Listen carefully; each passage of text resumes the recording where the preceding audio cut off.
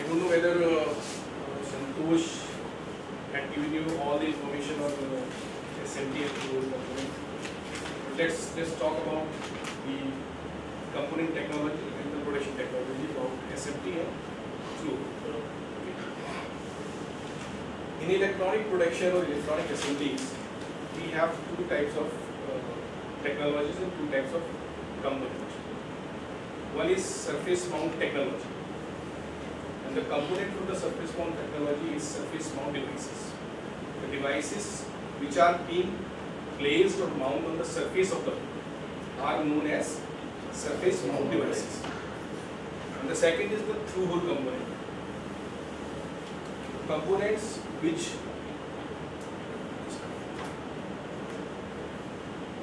via holes on the PCBs. Okay. So surface mount technology, when we talk about the surface mount technology, there is a complete procedural line through which you can produce the electronic assemblies or surface mount devices. There are a lot of packages available uh, in surface, surface mount devices. Let's talk about the passive component. Passive components are resistors, capacitors, inductors. So all components which are non-semiconductors, generally known as uh, passive components. Whether it is uh, hardware, whether it is wire, whether it is resistor, whether it is inductor, whether it is capacitors. There are a lot of packages available of these passive parts. In terms of SMT parts, the, the lowest available package in the market is O201. This is nothing but a size in metric. Okay, so the lowest part is 0201 or O201. Normally industries call that O201. Then the next package come is 0603. Okay, there are other packages also uh, are also available for passive parts, particularly for those components which are big in their shapes. For example, electrolytic capacitor. So the electrolytic capacitor normally come into the bigger size as the chip capacitors. So there the packages uh, name and the size are different than uh, PLCC uh, uh, packages. Uh, some SMB packages, some SMA packages are available for other passive components. Okay. Now coming to uh, the semiconductor devices which industry name uh, active parts. For example, the integrated circuits, ICs, which come into various uh, different packages.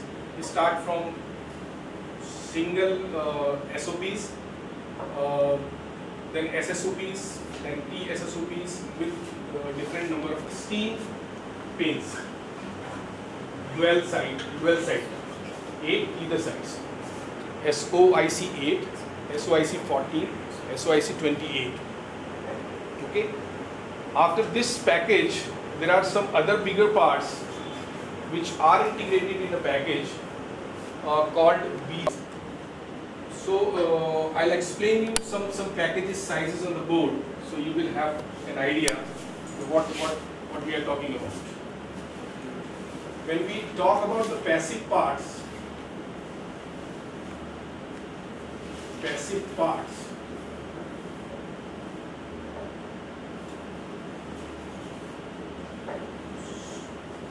The resistors are always known as the passive parts. Resistors. Okay? And the packages available in the market, the lowest one O2, O1, O4, O2, O6, O3, O2, O8, O5, 1206 and so on. Okay. These all packages are also applicable, applicable for other uh, passive uh, parts like capacitors,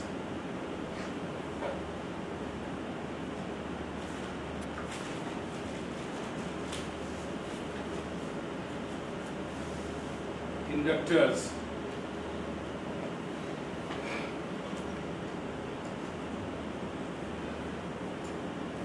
fuses okay now coming to active parts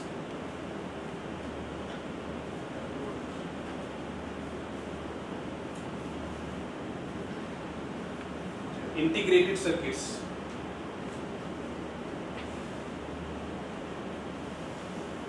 integrated circuits or in short form IC.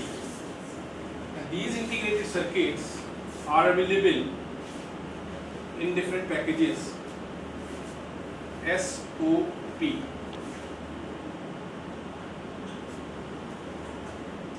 Or we can also say SOIC. Then T S S O Q F P. Then CSP then BGA in these categories there are uh, subcategories which we basically use for uh, for different sizes of the uh, devices for example 16 uh, SOICs 14 SOICs 8 SOICs 16 TSSOPs uh, 28 QFPs, 64 QFPs, 54 uh. So the numeric number is basically for the number of position or number of pins. Okay. CSP is again nothing but uh, more or less uh, as as equal as QFPs in terms of looks. BGS is uh, basically the device which has the ball under the device. Okay. So in these cases you can see your device leads or the device connection mechanism. So you can you can easily see by your eyes uh, uh, through the leads of the devices. But here you don't have. Here the balls, which is nothing but the connection of the devices on the board, is under the device in, the shape of balls.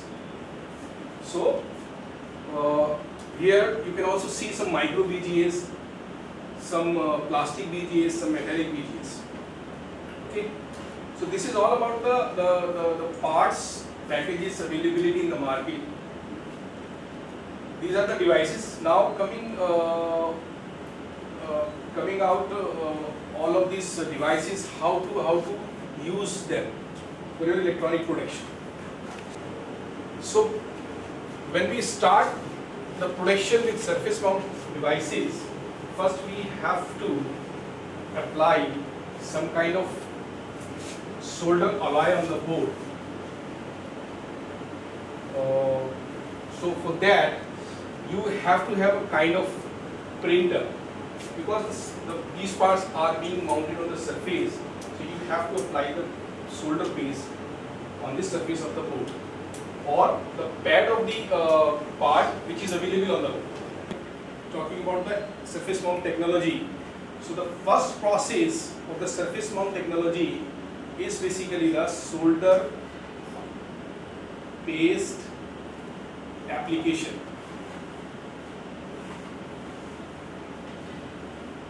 Which means when you have a board, bare board, this mount device pad on the surface of the board where you have to apply the solder paste. So if you have a board which is uh, let's say 8 by 9 inches so uh, let's say 100 uh, assembly parts are, mount, uh, are being mounted on this board so all 100 devices full prints are available on this board so you then you have to have a kind of mechanism which only have cuts for these solder pads. For an example, if you have a board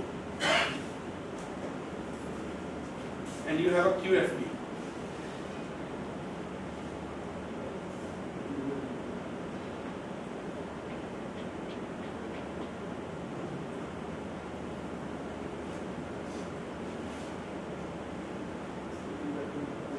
quad QFP. So on the board, the leads pads are available on this.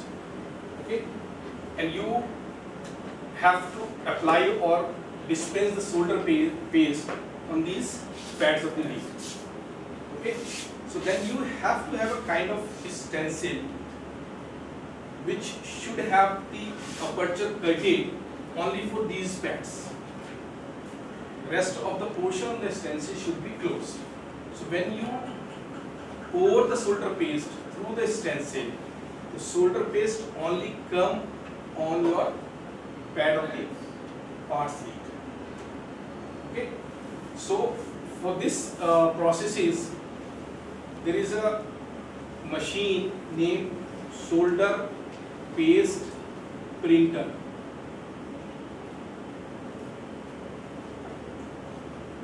Okay, and this printer is worked with the stencil. Stencil is nothing but a metallic sheet which will have all the aperture cut on it only for those areas where the solder paste is being applied or uh, poured. Okay, so here the mechanism is basically the when you uh, you have to first place your board, then the stencil, then there will be a squeegee. Squeegee is nothing but, but a blade. You when you put the solder paste here, okay, in the paste of uh, in the form of paste, okay. Squeegee is nothing but a sharp blade. It basically squeeze throughout the stencil okay and since your stencil has a cut only for those pads where the part is being placed. So when you when you move your squeegee with the paste where the cuts are available paste will go down and apply on the pads okay? So once this is applied on the pads okay? So this is uh, about the solder paste application. The second process is known as pick and place. Okay. Here, here you have to first give some command to the machine that whatever part you are going to put on the machine has to be picked and placed on your program coordinate. Because when you have a board which has a various component on it, for example, there is a component, let's say this is axis. There is a component which is, let's say, R1. There is a component with the package of S4023 there is another component which is bigger in size with three different pads okay so first you have to find out or pads because any component the minimum pad available for any component is 2 there are very rare cases where you have a component which has only one pad. Maybe some test point can come with a single pad. Otherwise, if it is a component or electronic component, the minimum pad is two or minimum two leads. Okay. So then you first you have to know, you have to find out what is X and what is Y. So you have to give a command to the pick and place machine in terms of pick and place program where you have to give what is the x and what is the y coordinate of this particular part. So when you when you start programming your machine, when you put an x and y of this particular part and you give a command to the machine there, R1 is let's say the 10k 0805 1% part. Okay? So machine will uh, recognize and uh, remember your command that r1 is 10k 0805 per person Okay. So when machine run, machine will pick the part from the feeder. Feeder is nothing but a but, uh, but a mechanical or electronic mechanism where you have to load your part and it is nothing nothing but but a indexing mechanism when when a machine pick one part it automatically index next part to that particular location where the machine will pick the part okay so machine will uh, when when the machine start uh, uh, running on your program first machine will pick the r1 and place on your xy point with an angle. You also have to give an angle. Okay. For an example, in this case, the angle is zero. If it is a part like this, so the angle is 90. So any any angle can be uh, programmed, and maybe uh, your component may be at let's say uh, in this angle. So you also have to give the angle command to the machine. So machine will pick the part and place a program quantity. Okay, so there are lots of machine available in the market which are coming with a different features, different space, different capability. Okay. Once this activity is completed in mount of technology production, so board is now ready for your soldering. So in surface mount technology, the soldering process is known as reflow soldering. Normally you have heard the manual soldering or wave soldering, but in surface mount technology, the soldering is called or known as reflow soldering.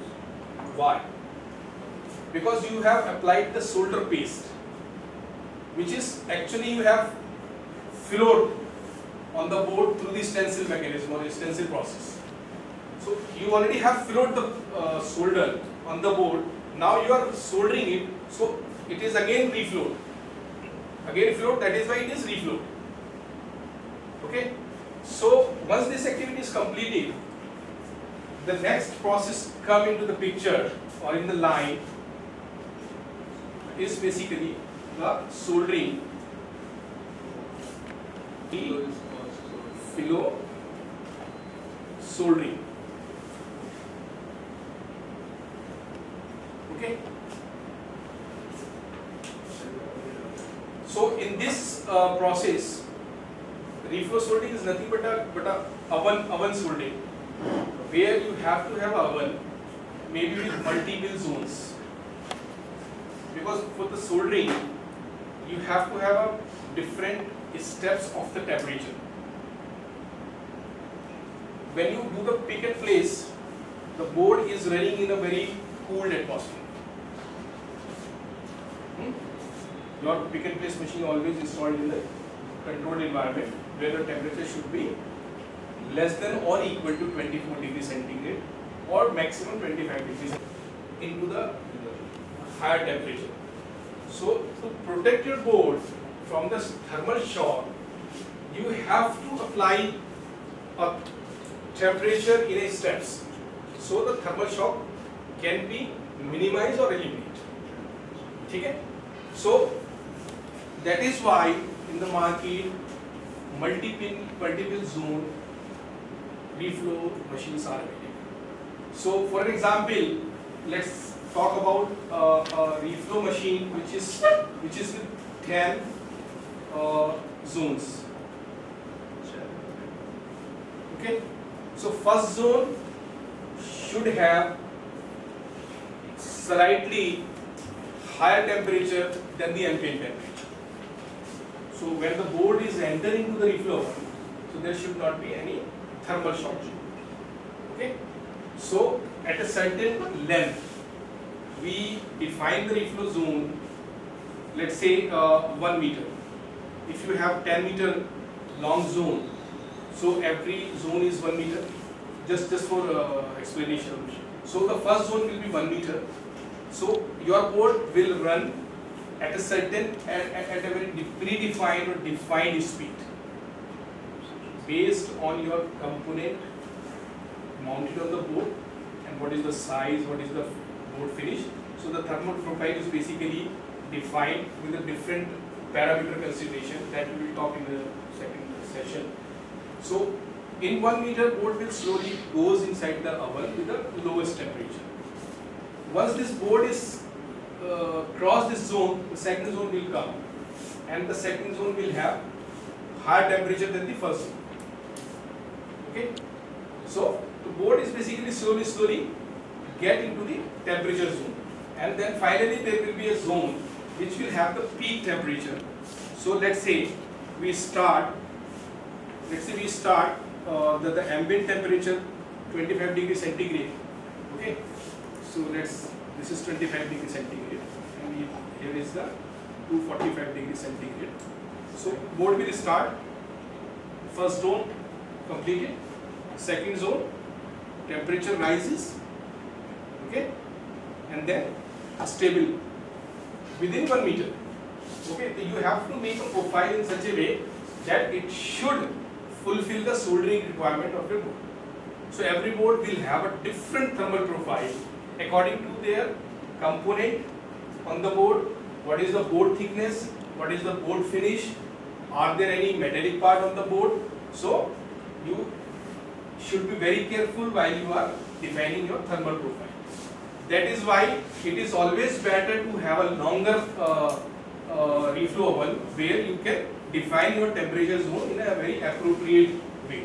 Sometimes there are there are uh, electronic assemblies where you have to give a longer uh, time to the board for the uh, preheating. The first zone being uh, called is the preheating, so maybe 2 meter. So then you have to have a 12 uh, zone reflow oven or 15 zone reflow. Okay. So after this, then again there is a slight increase in the temperature, and finally there is a peak temperature, which means the solder oil. There are two type of solders available in the market. One is ROHS and one is leaded. So when you uh, when you are talking about the ROHS because normally uh, nowadays only ROHS is, uh, is going to be used for all electronic assemblies because of some hazardous uh, ingredients uh, with the lead, uh, leaded components. So just to eliminate that, uh, there is a solder available ROHS components. So for that, there is a stage where your solder paste should come into the liquidious form. Because abhi the solder is in paste form so you have to give a temperature at that level where your solder is in liquidious shape. Okay? So maybe in this zone your liquidious stage is coming an example just for an explanation when you use a solder paste 180 to 190 degree centigrade your solder paste will be in liquidious or it, it, it, start melting. Okay? So here your solder is basically is in liquid shape. Okay? Now you have to give a maximum temperature to the solder along with the component in the board. So your solder is basically flowed onto the entire pad of the component and the PC okay so when it is peak temperature, let's say 245 degrees centigrade. So the solder is basically completely melted and flowed on the solder pads. Okay. When this over, then you have to give some kind of cooling to the because now the board is at 245 degrees centigrade and board is ready to come out from the reflow where the temperature is again 25 degrees centigrade. Okay, then you have to give some kind of cooling to the board. So the board will, when when come out from the reflow oven, it should not be very hot. It should be warm. So again, there should not be any thermal shock. Okay, so you have to have a cooling zone there. So now the temperature down, and of course it, it, it never come uh, to the ambient temperature but maybe at let's say at 60 degrees centigrade. Okay, now your board is reflow. All the parts are soldered. Okay, so this is the entire surface mount technology, production technology, where all these machines are used to produce the surface mount based electronic assemblies. Okay, when after this you can do various other uh, subsequent actions. For example, if you want to do the inspection, automatic optical inspection, if you want to do, uh, for example, BGA, if there is a BGA available on your board and the, the connections are in shape of the balls,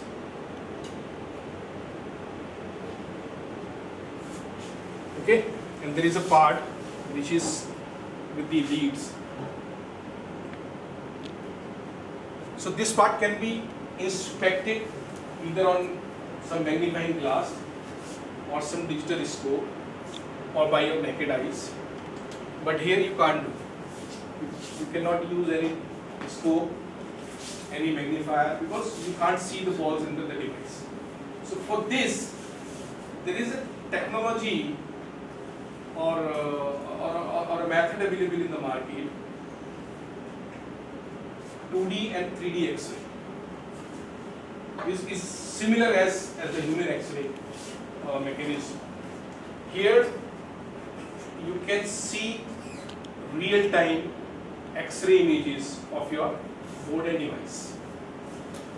Okay, so 2D X-ray and 3D X-rays are available in the market.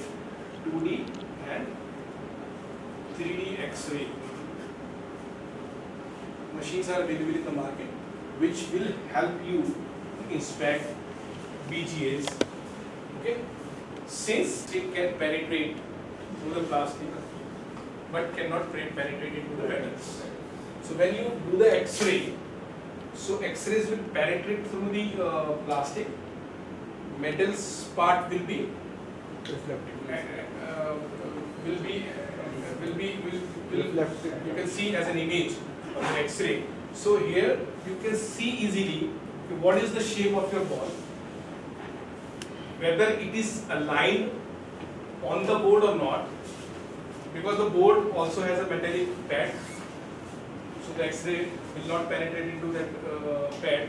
So with this machine you can easily see whether your device is placed correctly in terms of alignment, in terms of soldering, in terms of other different criteria and parameters. For example, when you do the reflow soldering and when, when solder start melting because uh, your reflow oven also is filled with the air. Hmm? So when, when there is air in, inside the reflow oven, so air can also be get into the solder joints. So air is already uh, within the solder joint and you already have passed your board through the cooling zone. So air is trying to trap inside the solder joint. That can only be seen through this X industrial practice, thus voids, air voids. How much voids is inside the solder joint. There is a uh, there is a standard available in the market, or there is a standard defined by the industries. The limit of your uh, air, what what kind of limit, or what how much void ratios you can accept. There is acceptability criteria defined by uh, IPC standard. So here there is a standard uh, applicable IPC 610. Okay, so this is the acceptable uh, acceptability criteria of electronic assembly. Only only for your manufacturing uh, process uh, acceptability or workmanship to workmanship acceptability. Okay, so you can do the inspection, you can do the automatic optical inspection, which is nothing but a apple to apple comparison. For example, if you have one apple and you have a different apple, so you have to visualize is there any difference between two apples. Okay, here you you are doing the inspection real time where you you just see uh, what is the what is the image coming out and you have to take your own decision based on your experiences, based on your education, based on your uh, defined criteria. But there is a machine available in the market which automatically tells you if there is a difference between two images. So first you give the machine your master image.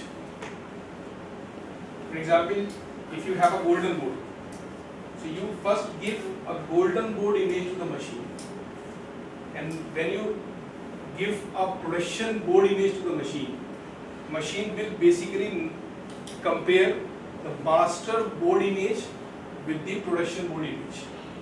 So if there is a difference between between two images, any any difference. For an example, if you have a resistor placed on your board, let's say there is a text on the resistor, let's say 1002.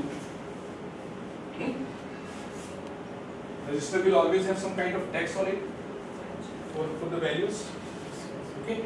So this is your master image board registered text image and there is a, a production board image which says 1003. So if you compare it apple to apple, so there are there is a difference between two images. So machine will throw an error with the location that there is a problem in this particular part in terms of text. Hmm? Even if, if it is let's say 1002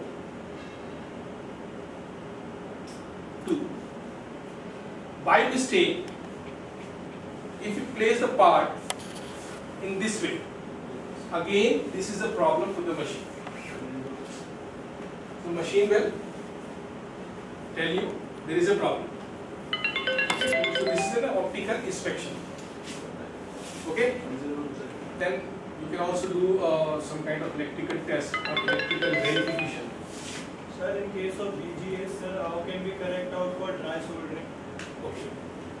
When you so the BGA will always be in a sphere form. Okay? And it is nothing nothing but